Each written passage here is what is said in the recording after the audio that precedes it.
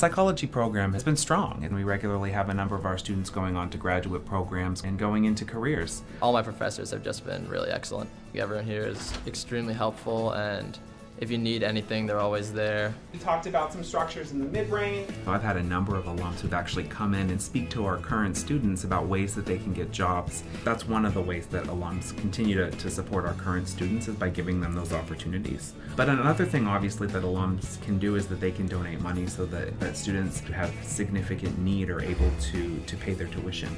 I know of a few people that have donated and have improved the facilities. I think that all that they do post-grad is, is uh, really helpful to the program and the school as a whole. We're doing more than just educating people. We're really, we're helping to develop the whole person. This Giving Tuesday, I hope that all of our alums will consider giving whatever they can to support our current students so that we can continue to provide uh, quality education for our students regardless of their income. STAC Ross gives today!